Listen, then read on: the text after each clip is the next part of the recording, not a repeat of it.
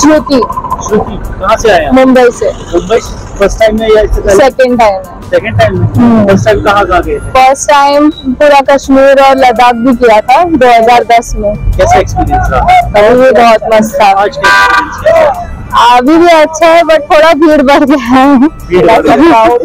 है। वो तो कश्मीर का अथेंटिक जैसे सब लुक था। वगैरह वैसा हम्म। रास्ता ये थोड़ा सा कम। कमर्शियलाइज थोड़ा ज़्यादा। हाँ, कमर्शियलाइज ज़्यादा हो गया। हम्म।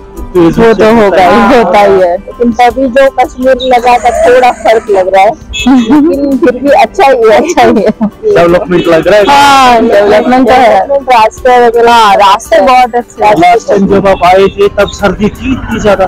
हम तभी समर में। आए थे। समर समर में आए थे तब अप्रैल में। आए थे। विंटर में फ़र्स्ट टाइम आए। सर्दी का कैसा एक्सपीरियंस बहुत बहुत बहुत सर्दी। है।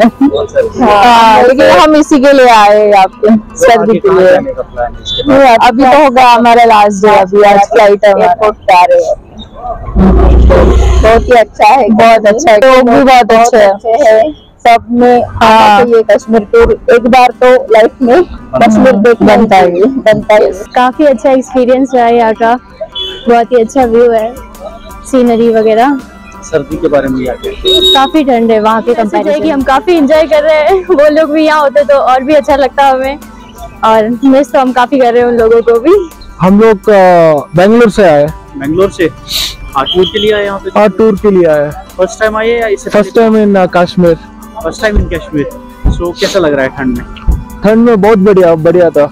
expect- अभी हमारा थर्ड दिन है कश्मीर में।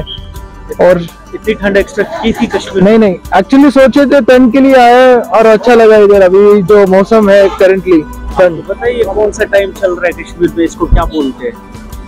इसमें अभी विंटर शुरू हो रहा है। तो पहलगाम जाएँगे। पहलगाम? और कहीं और गुलमर्ग जाएँगे गुलमर्ग स्कीइंग अभी बर्फ़ रहेगा ना?